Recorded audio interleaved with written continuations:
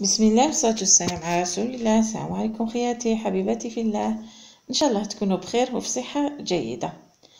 يلا قبل ما نبداو bien sûr ما تنساوش الصلاة والسلام على حبيب الله. يلا الآن كما راكم تشوفوا عندنا les tagliatelles les pâtes درنا les tagliatelles en sauce blanche اروحوا تشوفوا هذه اللي نوري لكم هنا النوعية اللي شريتها انايا هذا نصف تاع ال paquet. شريته يعني هذه نوعية جيدة. على هذيك تعمدت باش نوريه لكم. هنا بقى لي نصف الكمية رايحة نديرها معكم اليوم. يلا نتبعوا المقادير طبعا وطريقة التحضير. هنا كنت غليت مسبقا الماء. درت الماء على حسب الكمية تاع العجائن اللي عندك. غليته بعد كي بدأ يغلي باش درت له الملح يقولوا باللي الملح يعطل عملية الغليان. لا أدري إن كان صحيحا أم لا لكن المهم أنا كي غلا رحت درت هذاك الملح ديالي من بعد رميت لي بات هنايا لي بات ننصحكم باش منين داك تحركوهم تحاولوا تفتحوا هذوك الدوائر هذوك شتوك شرا مكور تحاولوا تفتحوا هكذاك باش ما يتعجن لكمش خلوهم يغلو ومن بعدك حتى كي تشوفوا ذوقوا يعني هكذاك باش تشوفوهم إذا كان طابوا ولا متخلوهمش Bien sûr متخلوهمش يتعجنوا. هنا كيما راكم تشوفوا رايحة نديرهم هذيك la sauce راح ندير لها الدجاج. هنا كان عندي طرف دجاج قطعته كيما تشوفوا هكذاك طويل باش يجي على حسب شكل les tagliatelles وهنا كانوا عندي واحد ثلاثة سنينات كبار تاع الثوم ولا ربعة يكونوا متوسطين. نقلوهم في كمية تاع الزيت. هنا درت ثلاث مغارف تاع زيت. زيت عادي ولا تحبوا ديروا خليط تاع زيت زيتون وزيت العادي ولا حبيتوا زيت زيتون مع زبدة ولا كل واحد وله الاختيار. أنا قلت لكم درت 3 مغارف زيت راني نقلي bien هذيك الثوم ديالي حتى تتقلى لي مليح. bien sûr لازم تحركوها هكذاك باش ما تحرق لكمش. من بعد نزيد نحط الدجاج ديالي هاولي كيما راكم تشوفوا نزيد نقليها تاني مليح.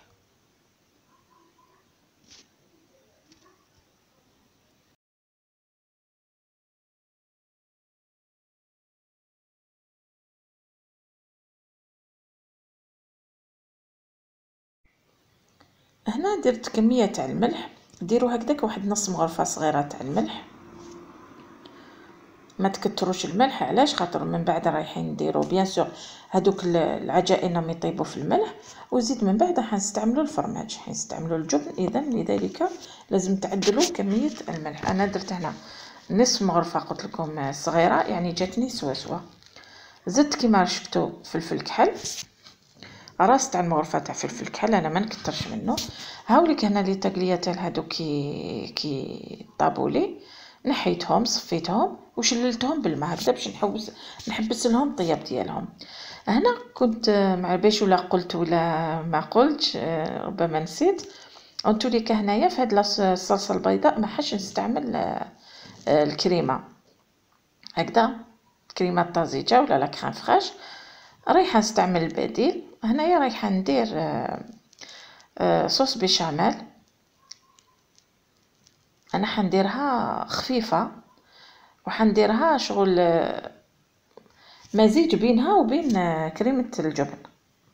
هكذا حندير مزيج بين صلصه البشاميل وصلصة الجبن. هنا بعد ما قليت مليح هذيك الحميصة اعتذر المقادير. درت خمسين غرام تاع الزبدة. مع خمسين غرام تاع فرينه هذيك خمسين غرام تاع فرينه تجي ابيبخي زوج مغارف تاع ماكلة. ما ديروهمش معمرين بزاف. علاش هكذا؟ باش قلت لكم لاصوص بيشاميل ديالي حبيتها تكون خفيفة. بيان سور تقلوها مليح هذيك الفرينه حتى تحسوها باللي طابت مليح. من بعد نزيدو هذاك الحليب واحد نصف لتر تاع الحليب. ولا على حسب الخفة اللي تحبوها نتوما. نزيدوها تدريجيا هكذاك باش ما يكونوش عندي les grumeaux. هنايا كنت نحيت الحبيبات يعني. هنا كنت نحيت هذيك المغرفه راح نستعمل ال fouet هكذاك باش يساعد باش يتحلوا هذوك الحبيبات. هنايا واش رايحه ندير ندير شوية الملح. هذيك المغرفة تاعي كما شفتوا صغيرة donc استعملت راس تاع المغرفة تاع قهوة تاع الملح. وكيف كيف؟ شوية رشة برك تاع فلفل كحل. ونستمر دائما في في الخلط هكذا باش ما تبركسليش من بعد راح نزيد الجبن.